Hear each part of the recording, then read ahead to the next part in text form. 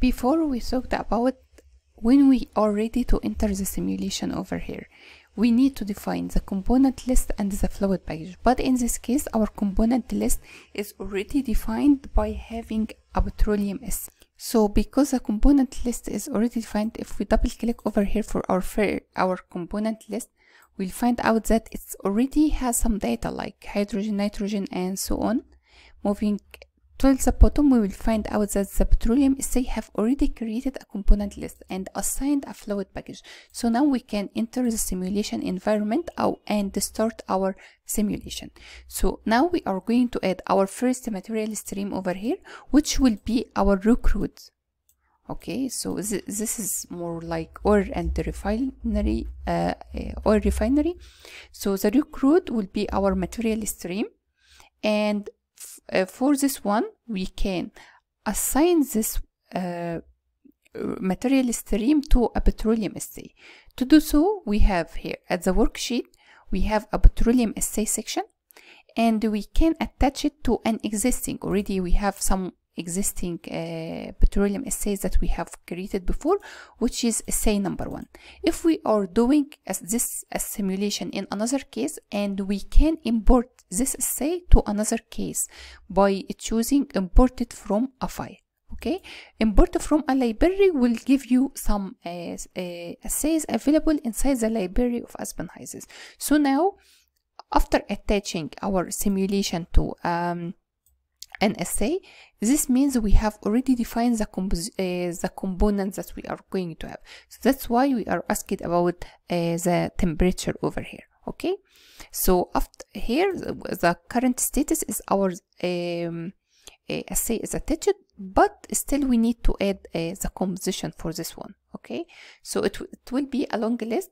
So just make sure that you didn't miss any uh, information like this one the composition is already assigned over here and added okay? So this is interesting because even if we didn't define uh, the composition except for this one we have added uh, the volume percent for uh, these values they use the, the data that we give to our assay uh, which is the volume percent and they calculated the mole fraction so this is really interesting and it helps a lot so now all we need to do is adding the conditions over here like the temperature and the pressure and the flow rate so this stream the temperature will be 66.5 degrees celsius after that, the pressure will be 3447 kilopascal.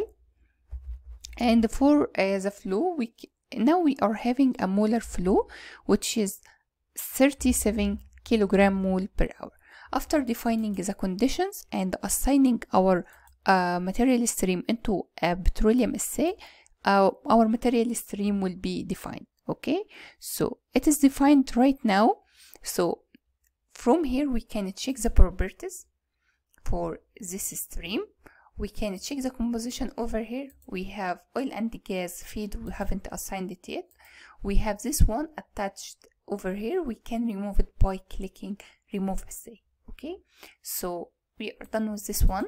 This is our first material stream. Now we can build uh, some of our um, uh, our flow sheet. Okay so we can save save this one uh, as our oil and gas uh, characterization. So we are done with this section. Uh, our crude here is mainly for the oil so if we have a gas also we can create another stream which is a gas stream. And this one will be our crude gas.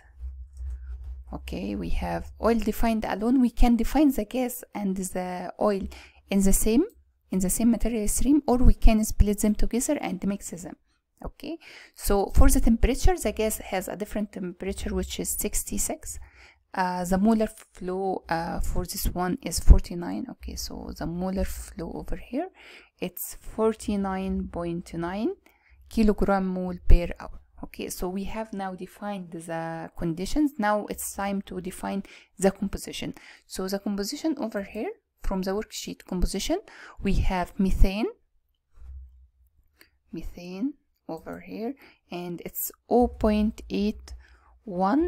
0.8188 okay so this is mainly methane this stream is 80 percent methane. That's why we are splitting it uh, alone. The composition of ethane is 0.09 and after that we have propane 0.0404 and after that isobutane 0.145 0.0152 for okay so here we have ethylene and ethane. Okay so we need just to be careful because i've i was adding them as if they are well arranged but they are not. So again delete this section and i'm going to copy and paste the values. So for ethane we need to make sure that we copied ethane. We have i have added the value. After that i'm going to add the value for propane. Moving forward it's isobutane isobutane. Butane okay so this is isobutane. After that normal butane. It's really important to choose the right component because this composition will affect the whole simulation. And after that isopentane. This one is isopentane. And okay we have a total of one so we are going to press okay. Now we have an a message that our pressure is unknown. We have this pressure defined and this pressure undefined but if we use a mixer which is we are going to use now and this mixer is going to mix our crude and this gas okay? And our outlet here will be our um, well data okay? Or um, like this is a simulation of what is coming from the well okay here we have defined one stream and we are going to equalize all. When we do equalize all means all the pressure is the same as the one that we have defined. So we after pressing equalize all over here I just want to arrange this one to look better.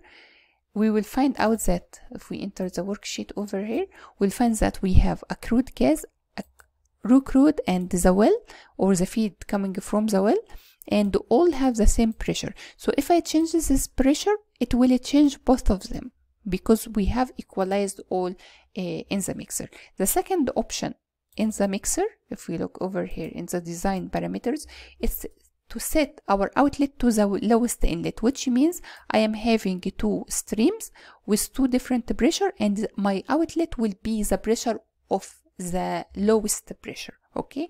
The value will be equal to uh, the lowest one. So until now we are going to stop here. We have added two material stream and mixed them. Moving forward we are adding to going to build our flow sheet more